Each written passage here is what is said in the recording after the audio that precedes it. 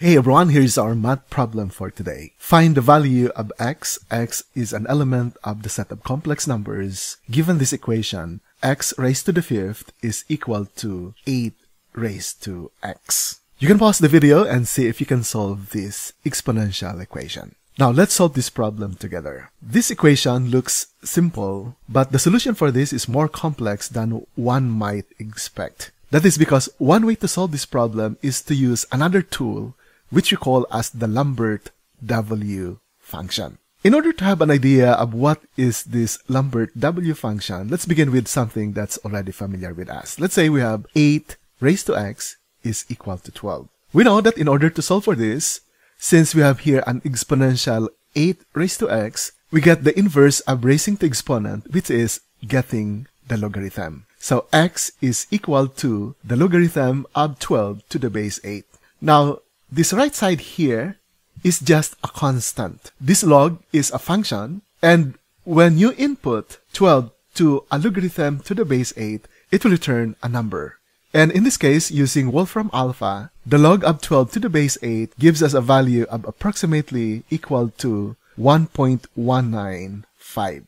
Now, connecting with our problem today, when we have this form x times e raised to x equals 5, in order to find the value of x here, we are going to use another tool or another function, and that function now is the Lambert W function. So we take the Lambert W of both sides, and this Lambert W has a property that when you have this form, any number times e raised to the same number as the first one, this will simplify to simply x. And so the left side is now simplified. The right side, Lambert W of 5, is just a constant that we can compute using a calculator like Wolfram Alpha. So this right side here is also another constant, which is now the value of x. And if we are going to input this Lambert W of 5, it will return this result, approximately 1.3267. So let's have a quick review of what is this Lambert W. Let's begin with the function y is equal to x times e raised to x. The graph of this is this left curve.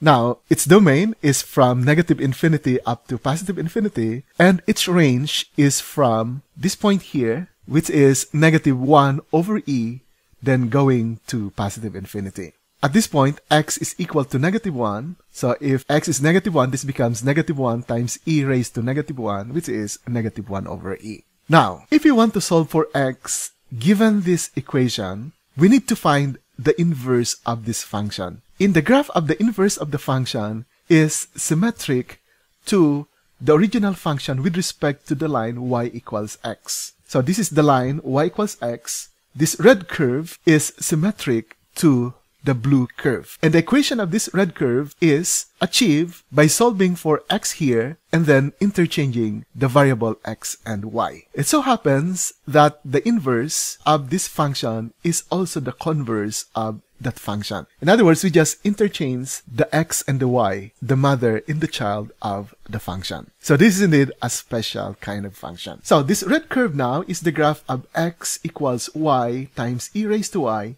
and this red curve now is what we call as the Lambert W. Now there are some technicalities here because the domain of this red curve is the range of the original function and its range is the domain of the other function. Their domains are not the same and therefore we need to limit the domain in order for the inverse to exist. Also, the red curve is just a relation because using the vertical line test, there is a point here where the vertical line test will fail. Now, if you want to solve for x now, if you have this equation, we now say that x is equal to the Lambert W of y. And so that is our intuition of the Lambert W function. So formally, we now say that if we have a function f of w equals w e raised to w, where w is a complex number, the Lambert w sub k of z, where c is a complex number. What does this mean? Let's go back to the graph. The Lambert W curve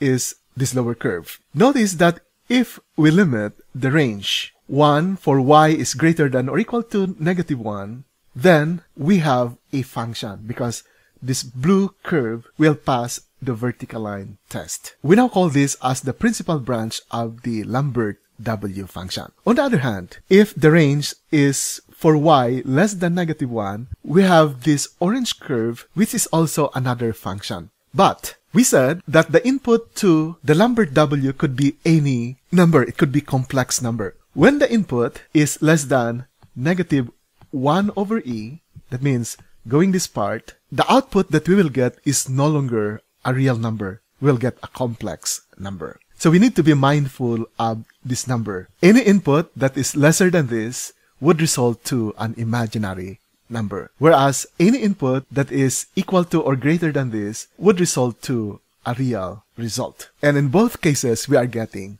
complex number because the real number is just a subset of the set of complex numbers. So this part now is also another branch and we denote this as w sub negative sub 1 of x. In general, we write this as the Lambert w sub k of x, where k refers to the specific branch. Now, going back to our problem, let's simplify this. Let's take the natural logarithm of both sides. Then from the properties of logarithm, we can put this 5 at the front and multiply the same thing here. So the result now is 5 times ln x equals x times ln of 8. Then we want to isolate x in one side of the equation, and we can achieve that by dividing both sides by 5x and simplifying. So we have the variable x at the left, we have constant at the right side. Now the problem is we have x here and we have another x here. So let's put this denominator x to the numerator by raising it to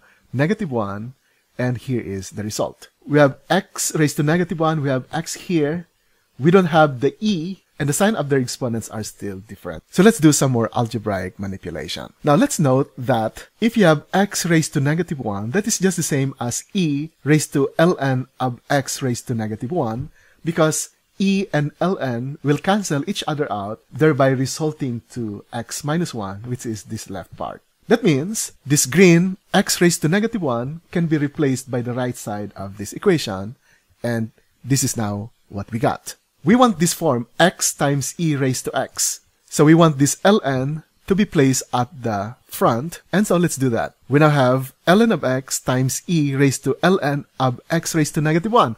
We still have this little problem here because the exponent of x here is positive 1. So how can we make the exponents the same? Well, we can multiply both sides of this equation by negative 1. And noting that one property of logarithm is if you have this factor here that can be written back as an exponent to this variable x. And that becomes ln of x raised to negative 1 times e raised to ln of x raised to negative 1, which is exactly now the form that we want. And therefore, we can now apply the Lambert w function here. We take the Lambert w of the left side, we take also the Lambert w of the right side. And this left side is exactly the same as this form. So this is just the exponent ln of x raised to negative 1. And the right side is just a constant. So we want to solve for x. So let's continue simplifying. We take the exponential of both sides so that we can eliminate the ln. And here is now the result. e and ln will cancel each other out. So we have x raised to negative 1 at the left side. And we just copy the right side and we can now write this left side as 1 over x equals the right side of the equation. And solving now for x, we cross multiply. And by the symmetric property of equality, we now have the value of x to be equal to 1 over e raised to the Lambert w of the negative of ln of 8 over 5. And this right side is just a constant that we can compute using Wolfram alpha. But before that, we need to know whether this input is greater than or equal to negative 1 over e because that's the domain in order to get real solution to the Lambert W function. So the value of negative 1 over e is approximately equal to negative 0.367. Whereas the value of negative ln of 8 over 5 is approximately negative 0.41 0.59, which is lesser than negative 0.367. So we expect that the result of this would be a complex number. And using now the Wolfram alpha, here is the complex solution to this seemingly simple exponential equation. the value is approximately 2.2073 minus 1.1828 i. This is the real part and this is the imaginary part. And so this Lambert W function is a very useful tool when dealing with exponential functions. And this has many applications in physics and in number theory. So thank you very much. This is Rolando Asisten and we hope to see you again in our next video.